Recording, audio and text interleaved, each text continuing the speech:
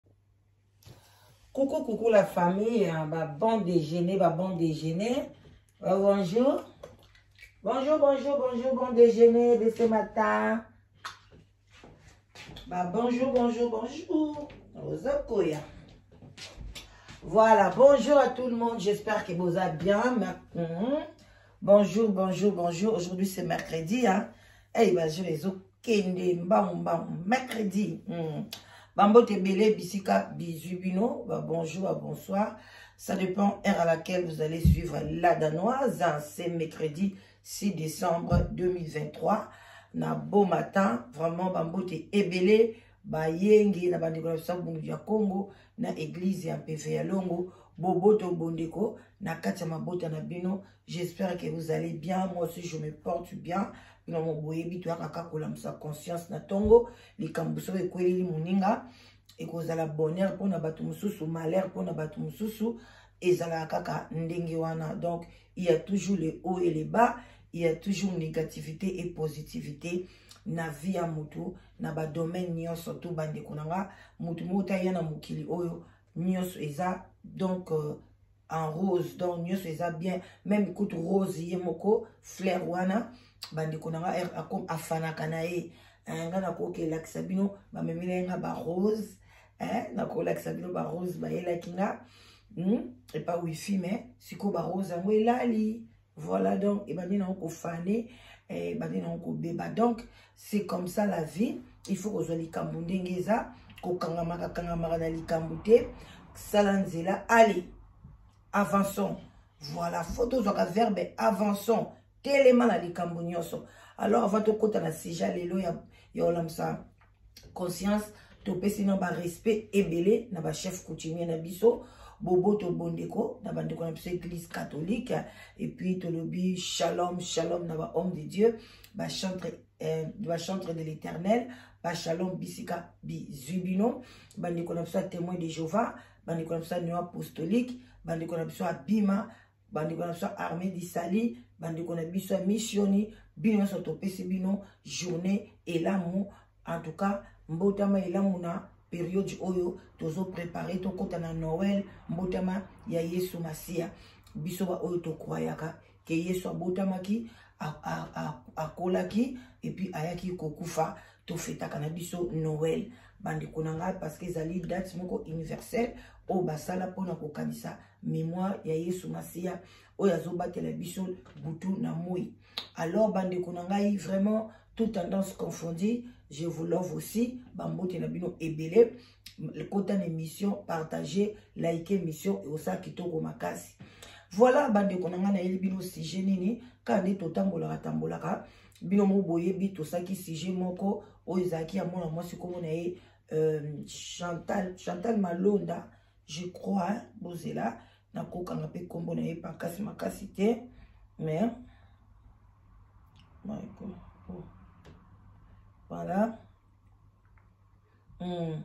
malonga malonga chantal malonga je crois tosalaki baémission na ye ebele kita mata ezalaki ke adivorcaki na mobali na ye eh, bapapie ebimaki bapapie ya mariage mobali ayaki kolakisa nyonso babalanaki na communauté de bien ndenge mpe bakabola babien na bango donc ye azwi boye mobali mpe azwi kote boye bakaboli na bamagasin biloko wana tu mai à la fin ntango kaka amoni ke mobali mpe azwi mwasi na ye mosusu ekomi bajalousie ekoti ke ye baescroke ba ye bakabolaki bien te obien ntango mosusu nde kaka ezalaka bino mo boyebi eh, na ntango ya kala na bible wana boyeba kaka eh, lisolo ya mm, adam adam te ya abraham na cousin na ye ntango babimaki cousin amoni bakote kuna biloko ezalaki vert tout etout etout akendeki kowelela mbangu mbangu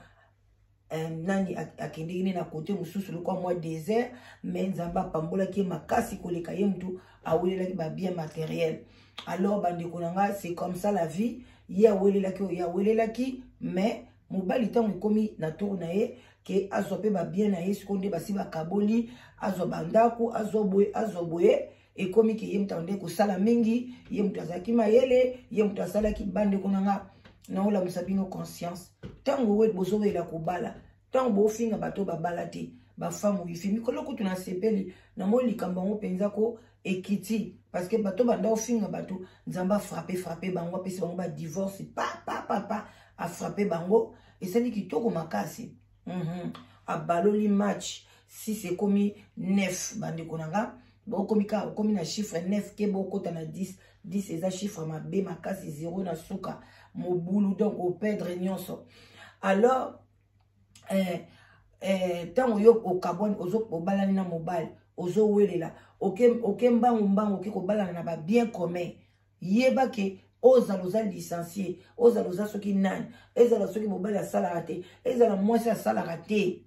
biloko wana nyonso eza ya bino mibale bokokabola yango katikati leta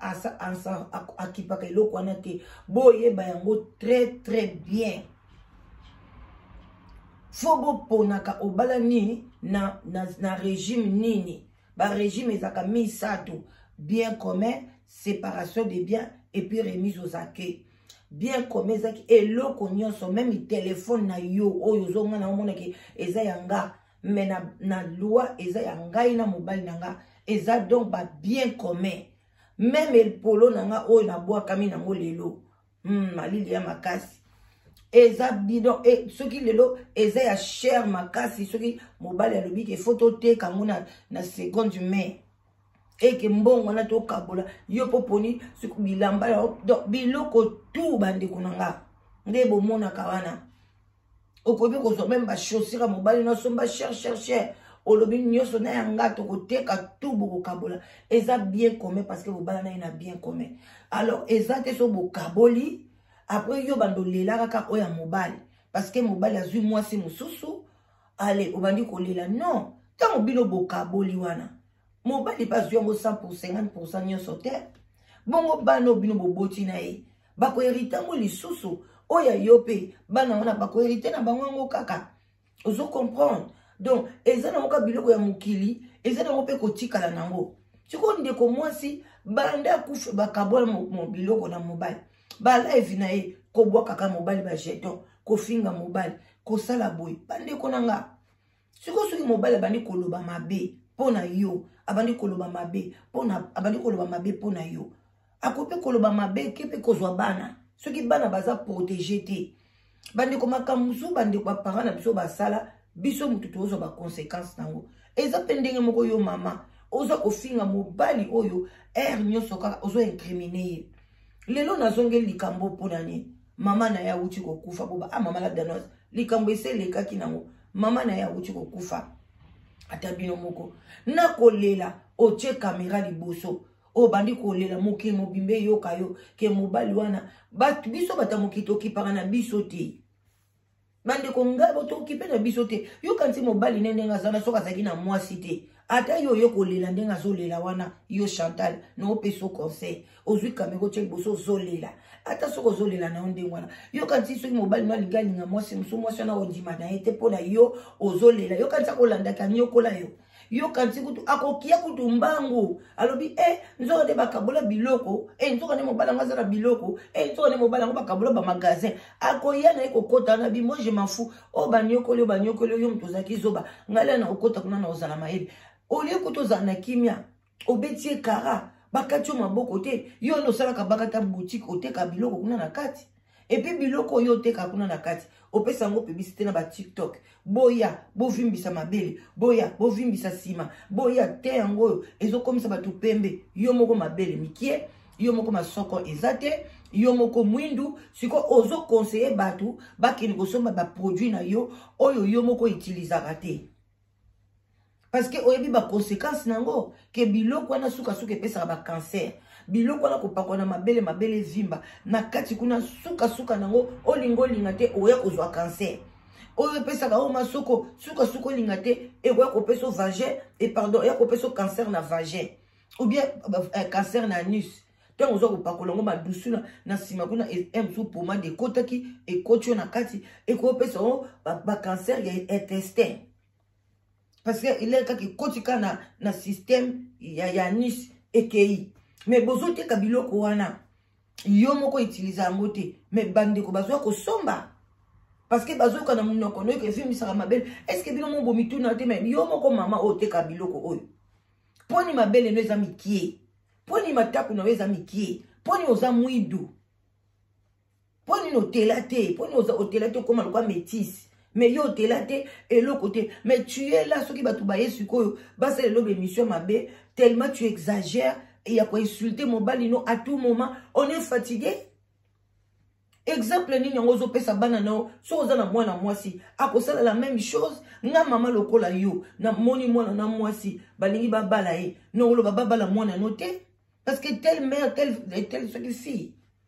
eza kitoko te kwe kolelaka na bareseau sociaux kolela mama na yo akufi donc eloko nyonso eleka na famille na yo ekomi kaka ex na yo ekomi kaka ex na yo mais non donc nani yango otikala libanga na kati ya mokili oyo ndeko na ngai yo moto ozotala nga na yo mpe moto olekaka meme situation ke ye eza ka ye te boza ebele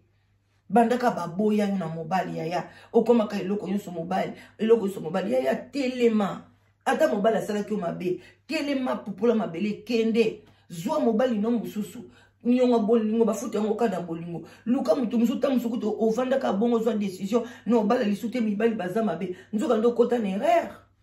olina mosu okozwa mobali no ya bien kutu olobi o oh, me tata oyo na banda osala nde makambo nini na banda ofanda na tata modele oyo okute na ya bien kutu osepeli ocomprendre te oli omikangi ka bongo yo moko mpe ndenge wana oza yo kanti chantal ndenge ako kolobaka na mobali no mobali ya malamu okoya pembeni na yo mobali okoya pembeni na yo aoyaka koexploite yo mobali nyonso akoya pembeni na yo kolingo te awa bamwasi oyo aza mwasi mabe mwasi oyo asambwisaka mibali mwasi oyo aza boye mwasi oyo bandeli yo kokanga mobali ne ndoki ye moto abomi mama na ye chantal estce mobali no aza na droit koboma mama na yo so pete okende yango na spirituel mobali oyo ayo akoboma mama no na nini apart poison akobomeka boye te mama na yo mpe soki asalaki susi ya susi ya nini ye mama na yo pe ya son ame mais asalaki susi ya nini yo mama na batikelaki mpe bandako na kisasa yo moko oza na mbongo ebele tu es capable ya kofutela mama na soki ata bozali na bandako te ozalaki capable ya kofutela mama na yo ndako soki réellement mobali wana abengani mama no na ndako mpasi nini mama na koyoka yo oza na mbongo ebele tu te dis que tu as beaucoup d'argent futela mama na yo ndako ya 250 dollars par mois e, e, na kuna na kati kuna ekozala na toilette biloko tututu na kati ya kinshasa wana ezali na balemba na bamatete bato batongitongi bapartema na bango batongitongi mwa bandako na bango batie batoilette na kati makambo miso na ndako apartir ya ba 250 dollar yo meme ata 500 dollar kofutela mama na yo oyo ekoki kolelelaka biso ntango nyonso tu mama akufi oza kolela oza kolela o oh, mama na ngai mama na ngai mobali na ngai moto abomi ye mobali na ngai moto abomi ye nayebisaki bino nini susi wana mpo na ndako o oh, mama na mama na yo moko azalaki na mobali na ye te mama oyo ya yo mobali natikelaki ye ndako te bwale estce toraisonaka mama na ngai boko mobali natikeli ye ndako te alinga siko mobali oyo anga fasomela mama na ngai ndako obi atikela mama na ngai na ndako na sens ni ye mpe azali na mobali na ye bokokepela mosusu na famille na bino bokuti mpe ke mama na botata mosusu na mibali mibale to mosusu na mibali misato mibali nyonso basombelaki ye ndako te donc yo fomema mokumba wana ke mobali na yo fo asombela mama na yo ndako fo asala boye pourquoi le monde vont comme le monde va comme ça hmm? les gens de ce monde bozotambola kitoko te moi je vous comprends plus tokomi na fin de l'année mama na kufi lela mama na yo bato baoya koya bakotala yo esili esili bakundi esili meme isi batikaki na kati ya ndako wana kitendika alinga akufa te mso eza dati na ye ebongo linga yoka nti bato bakufani bakufaka na maladi te batension badiabete banini banyonso akufaka na maladi bamisusu pongi pongi ya pamba oyo mpe moto alali mpe akufi ebomaka mpe tu vois masuba ka masuba oyo mpe omoi mpo ozosuba lisu te oyo asubi nini masuba ebelaki bloke libumu evimbi akufi donc nazoyi biso ke bamaladi ezalaka ya modele na modele alors oyo ya yo akufa te bandeko na ngai trop parle mpe tue voilà bolanda ye na bokebi nyonso botala euh, bino moko bolanda ye yango oyo kolela na ye bonjour banikoleta na banikola ntuka eza mpasi mpe mawa na pede mama na biso mama akufi na tension viva makambo na nga oyo ntango kaka bomonaki makambo elekai na kisasa na ndenge bauti kopesa ye tata ya bana wana lopango tosombela mama na biso atindeli ye tata ya bana atindelaki ye batindeli ye letre na bavoka na ye batotikela mama na biso lopango esika afandaka ke babongama mpo babima tala mama lopango lopango mobali liwa na te ex nanga te mpango na biso moko tosombela ye mama ake kokotisa yango kuna na makambo ya justice ke lopango wana mama na biso abimi eza babien commun bandeko na ngai bandeko mama na biso tension esala ye 26 tension mama emata na 26 bandeko mama akufi wana na likolo ya tension makambo oyo nayebi nini nakolobela bino te naza na koloba okozala koyoka mabe papa nasala mama na ngai butu nyonso nayebisa bino bamakambo ebanda koleka na bainternet bato baza kofinga nga makambo nasala te mama azalaki na susi makasi attention ebandaki komata ye mpona nini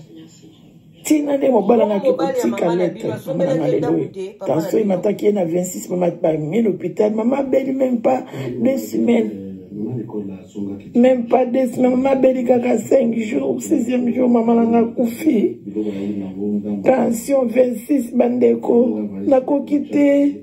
mama nanga akeli kola tata bano yo yokoli mama na nga na maondo bana na yo bozoloba tata bana oyo mama bandeko naza na mpasi nazokoka te makasi eza ferme na kofungola te naa na mpasi bandeko bonjour banikoleta na banikola ntuka eza mpasi mpe mawa bandeko ozomona nde bomoni ye wana pembe wana eza kaka bafiltre aza na ye pembe te bandeko na nga bino bokomi banikole banikoleta na banikola batimi oyo bokenda kokota bobanda olela kaka boye banikoleta o na banikola o bokoyoka mm, eloba mama grace eske bokoyoka eh, bokoyoka makambo oyo bokoyoka mama na ye akufi mpo na lopango ya mobali na ye kasi yo boyokani na mobali bien yaya bayokani bien mobali alobi zwa mapango misato ngai nazwi obe moko oyo ngai nasepeli nango mpo natongisa natya kore ame na ngai awa wana yo ozwa na yo ye alingi te nde bayokanaki alamiable alingi yango te mobali alobi merci aye na, na réseau sociaux sambwisa mobali sambwisa mobali finga mobali mobali alobi merci sikoyo nakomema yango na justice normale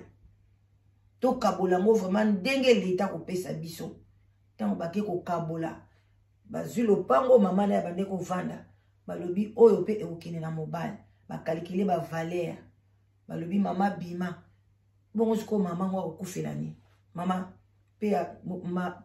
na ame na yo me ndako ezalaki ya yo te yo osalaki vi na yo obotaki nikoleta na nani na mobali te eboo mobali wana mama asombelaka yo ndako te yo okoya kokonte na ndako oyo mwana no asombi oyo bake kobalana na babien commun bandeko moi je le ferai pas nga nde natelemi awa bana na nga basomba bandako ba ndako moko te me bandako me nakontaka nango te ata na, ata na ndoto nakontaka nango te ata na boye ke un jour ke ah so nakomi koko nakomi mokolo nake kofanda na ndako ya bana na nga jamais nakontaka nango te eza ndako na nga te eza mpe ndako ya mwana na ngai ye moko te baza na babien commun na bango sikoyo ngai surtout nga mama eloko nini ekotinda ngai nake ekota na, na makambo na bango nakokoteli pourkui e eh, bandeko na nga nakoma okoma na ngai na suka bandeko bozwa mayele eloko nyonso omemi na réseau sociaux eloko nyonso na réseau sociaux nani sikoyo aperdre eza ye apedre nyonso tu parce que euh, loi kuna na kinshasa kote wana ya bandako en tout cas chef de l'état ata aza na biloko mosusu asali te kote wana lwa wana evanda kosala erreur na kinshasa te oke ebotola motu lupangu obi osala boye osala boye okolonga te kote wana evanda evanda evanda mboka mpe kobeba na badomaine nyonso te ofingi mobali no mobali oboti ne bana na bana ngo ozoloba na langage papa bana wana comme si baza bana na yo te nga mama na biso akeloba na nga langage ya ndenge wana bana moko mpe na, na desabone na mama eh na désabonné nde bo désabonné ke pana nganga pe na désabonné na mama comment que loba nanga papa bana wana bana wana bana nani papa bana wana okona bana kingandi bana ya charlotte bana ya chantali bana alors que bana na yo moko nyonso mpo na babien mokili ndenge ozolela wana kasi yo moko mpe tension ekozwa yo mpe okufi lisusu otiki na magasin otiki na bana wana bana na lere bakozwa babien wana ekomi su ya bango na papa na bango ozomona te ke biloko mosusu il faut dans la vie kovivre mafu mafu eh, eza ya mokili naza na ndako te na ofutela na yango aolala libanda soki oza mpenza normal osala osala te na poto so omoni moto alandi kolala libanda motuna ezosala te moto moto ezosala très bien akolala libanda na poto te bakolukele mwa ata bicok mwa place moko boye leta atie ye azovanda azo surtout na malili boye bakotiko te soko bokolelaka biloko ya mokili mpo na nini oza bien eh, chantal fanda kimia oza bien oza na magasin monene magasin kitoko magasin ya boye biloko ya boye ozoteka sikoyo soki obandi koloba mpe ebele biso toye sikoyo tobandi kokritike na biloko otekaka wana parceke babiloko bozoteka ezobebisa banzoto ya bato à la fin ezopesa kaka bamaladi yoka nte eloko olia ntango olobi eza na hydroquinone te eloko ozokaki soki ezotelisa yo ezokota na bafoi bafwa kuna mpe ezotela lobilobi bafwa ebandi kokauka ebandi koswete bamai ya mabe libumu ebandi kovimba lobilobi mpo eh, na yo ebebi okozwa ka cancer soki oka ozo bleach ozotyaka eloko nyonso tu mpo ndaka mpo na yo etela yeba kaka ebebisaka bafwa ebebisaka makila parce que faut changer système ebele mpo na nini okoma pembe esalaka mabe na kati ya nzoto biloko wana nyonso tuma bozoteka na bino yango hmm? ntango mosusu biloko yo ozolakisa na kati ya magasin leta azomona eza biloko mosusu me oyo yo ozotya na ser kuna biloko mosusu ntango osalaka bamélange ya baproduit na yo bato bazalaka soki okotisaka hydroquinone na kati moto akoyeba moto akoyeba te bandeko na nga okoyeba te me lokola tozalaka ko malhonnête akosinale yango mpe te na, na apologie babengaka nipologie eh? apologie bie na apologie akoloba kutu te ke natiaki boye natiaki boye natiaki boye nyonso naturel nyonso naturel banzete naturel mai ya pondu naturel ah yaya botika ko nasuki wana mpo na lelo mama azwa kimia lela mama na yo na kimia akufi mpo na ndako te temps na ye ekoki yo moko oza na age nini hmm? biso deja na experience ya vie na afrique ezalaka nango kaka na 45 ans 50 ans ndenge ezaleli na mpasi oyo eza na congo so mama no deja komai na ba 65 ans cela veut dire ke azwi ta na ye pourkui koya kozwaka mwana mobali ya bato afete ka lokola yo oza na mawa fo kaka osala to balanse mwana mobali ya bato afete ka bien te azalaka mal à l'aise youtube eningana su mpo na ye te toya te tokoyela mwana mobali ya bato te yo nde okomi mabe yo nde okomi cible ya likambo oyo yo nde chantal nde oza mabe en tout cas bondeko nanga bopartage botindela ti ye soki ah, mama na ye abiki asalela nga live bongo afinga nga bongo nakoyela ye c'est quoi ça ah bon attendeur salut bino nyonso boza na baka wana eloko nyonso ex na nga ex na nga te ntango ex esili ale avance autoroute fait vert mpa kobeta babordure neti ye obeta babordure kitoko te ex asali yo nini pesa ex chance na ye apesa mpe bana chance lelo so ex no azomata azomata mbongo wana ya nani ya ye na bana ti yoka nti mwasi oyo aye libala kolia yango ye moko lelo kanangi kananga ex akufi bana no baza wana mbamoko bazwi 50 pourcent bino boyebaka yango te eye eh, bandeko na nga bozala bien ko ah, bon entendeur salut je vous love toke mosala hmm, mosala papa mosala mama like partage bye bisous voilà bye bye ma famille je vous love